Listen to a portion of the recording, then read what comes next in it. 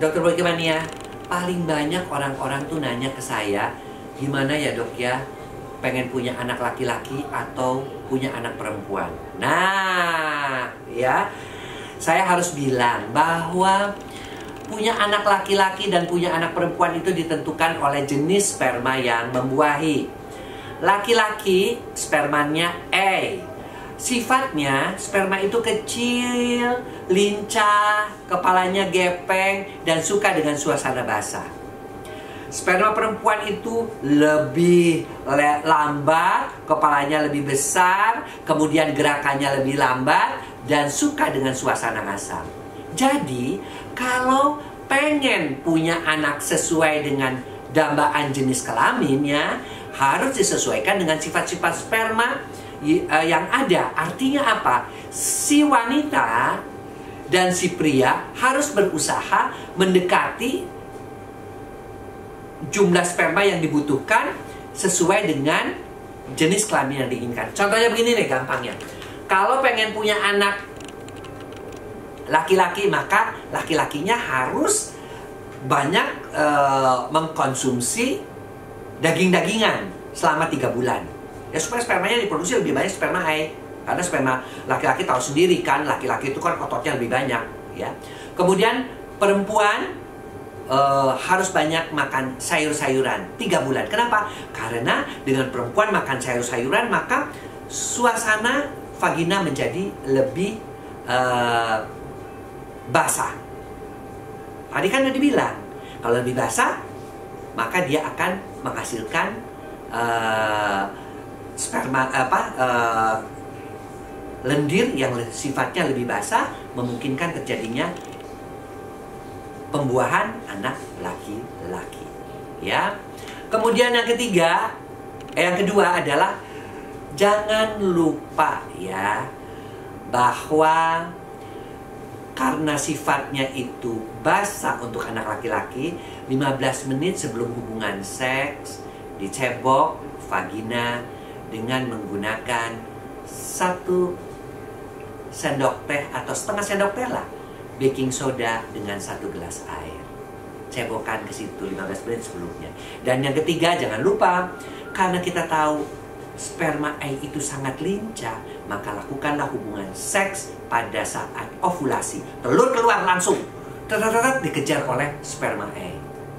Ya, sehingga 70-80% anaknya akan laki-laki. Loh, dok yang 20-30% itu masih milik yang di atas. Artinya kita tidak bisa uh, mengatakan 100% cara alami ini. Ya. Kemudian kalau ingin punya anak perempuan kebalikan. Ya. Jadi uh, bapaknya mesti banyak makan sayur-sayuran alias jadi kambing. Ibunya mesti banyak makan uh, daging-dagingan jadi macan tiga bulan tiga bulan. Kenapa ibunya kalau jadi kalau makan daging-dagingan vaginanya akan menjadi asam lendirnya akan menjadi asam dan itu memudahkan sperma yang perempuan sperma X tadi yang pelan-pelan jalannya membuahi telur terjadilah anak perempuan. Yang kedua 15 menit sebelum hubungan seks Vagina dicuci dengan setengah sendok cuka dapur dengan satu gelas air. Ya, air mineral boleh. Kemudian hubungan seks harus dilakukan dua hari sebelum ovulasi. Ya, karena ketika dua hari sebelum ovulasi nih hubungan seks, eh sperma laki-lakinya kecelek nggak ketemu telur. Tinggal sperma yang perempuan. Jadilah dia anak perempuan. Ya. Dokter Boyke Mania, sahabat Wis, ya, tentunya upaya-upaya itu harus kita lakukan juga dengan banyak berdoa kepada Tuhan. Tapi kalau sudah kita berdoa dan sudah terjadi kehamilan, jangan sekali-kali Tuhan mudah-mudahan laki, mudah-mudahan laki. Gak usah begitu. Gak usah begitu. Kita serahkan Tuhan, saya sudah berusaha menginginkan sesuai dengan jenis kelamin yang kami inginkan. Ya karena saya mengerti banget karena untuk suku daerah Tapanuli biasanya lebih banyak menginginkan ucok untuk su suku dari uh, Sumatera Barat lebih banyak menginginkan uh, apa yang namanya perempuan ya atau uni. Oke. Tapi tidak boleh memaksakan. Anda sudah jadi ya sudah. Apa pun yang engkau berikan ya Allah, aku terima. Karena yang engkau berikan pastilah yang terbaik untukku. Ya, karena apa? Seringkali karena sudah memaksa memaksakan sekali meminta. Ini yakin, saya yakin, ini ucap, ini ucap. Pas lahir perempuan, akhirnya perempuan yang ke laki-lakian. Sama juga, pas lahir eh, laki-laki karena pengennya perempuan, perempuan, perempuan, akhirnya anak yang laki-laki itu ke perempuan, perempuanan.